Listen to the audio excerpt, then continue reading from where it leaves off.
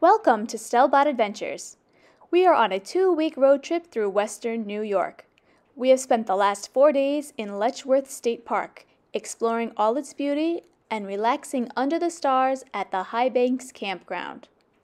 On today's adventure, we will show you some close up views of the biggest attractions in the park, the three major waterfalls.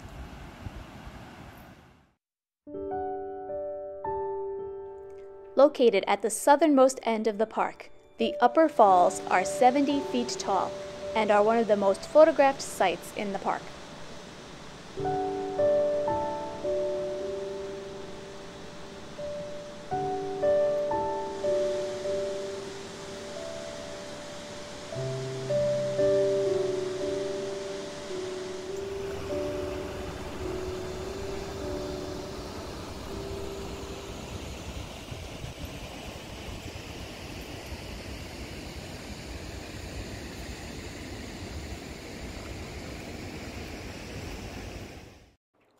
If you walk the Gorge Trail southbound from the parking lot by the Glen Iris Inn, you will come across stairs that will take you to the top of the upper falls and by the train trestle.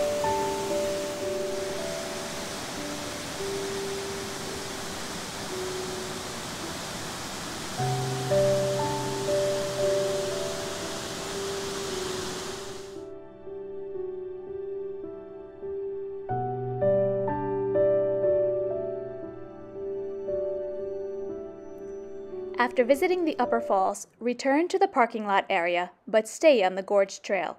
You will pass the Upper Falls Snack Bar and the Hot Air Balloon Launch before coming to the Middle Falls.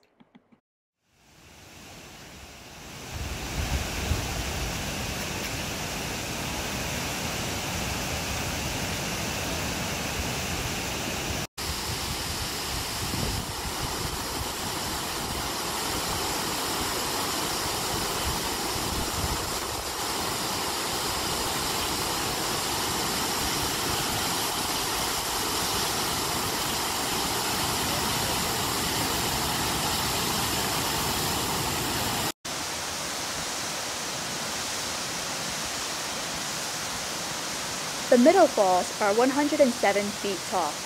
There are two overlooks, one on top of the falls and one a short distance away on a viewing platform.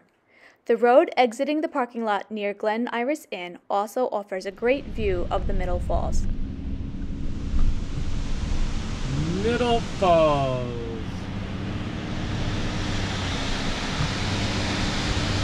Pretty majestic.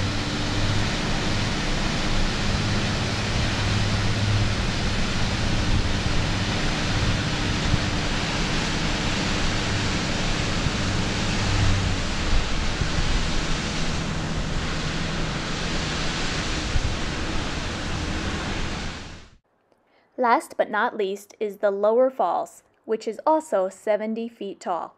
This one takes a little bit of work to get to, but is worth the time and effort. We took Trail 6A, known as the Footbridge Trail, from the Lower Falls parking area. This trail takes you down and over the Genesee River to the east side of the park.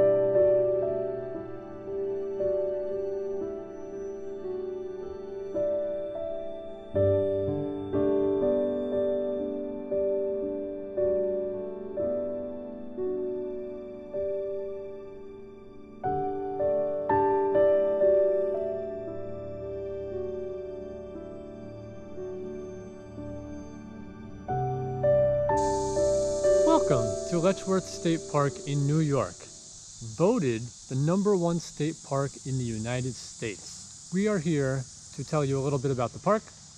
The north section of the park is not very exciting. There's not too much going on. There is a dam up there. There's a COE dam museum and everything, but is, which is on the east side of the river. Most everything else is on the west side of the river, right? Mm-hmm. You can see the dam from either side, obviously.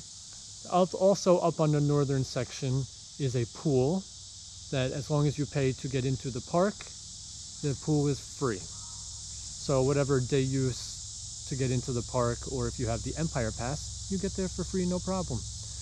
The south end of the park is pretty much where all of the action is. There are three sets of falls. The middle falls are definitely the most um, Scenic. Most scenic, mo- most awe-inspiring. They're the tallest. The middle falls are the tallest ones, a little bit over 100 feet.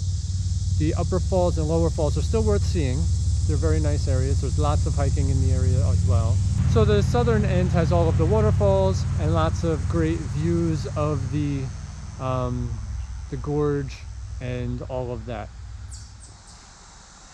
There are over 20 trails to choose from in the park.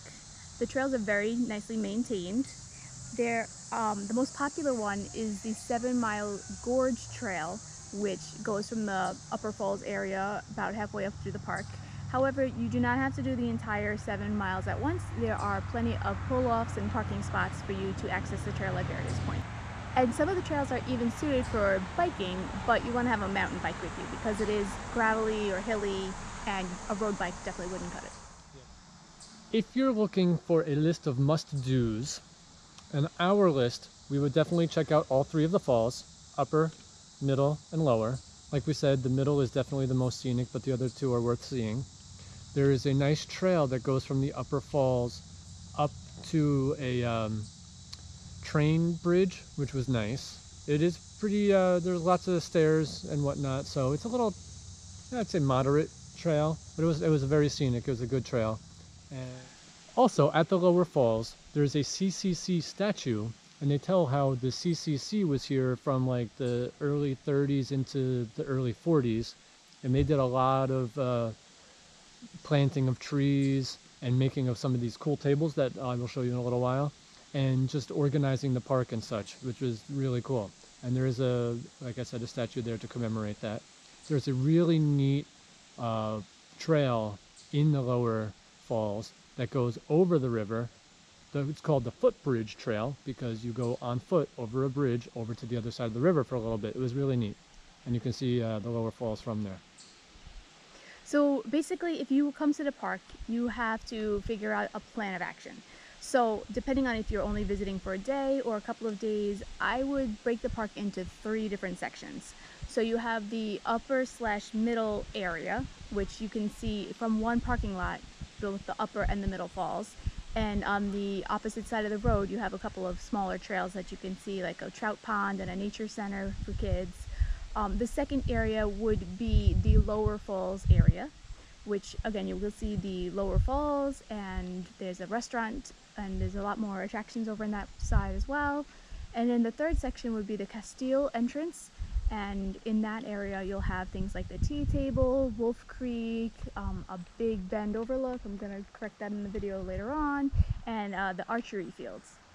So those are your three main sections that you want to dedicate a lot of time in each one.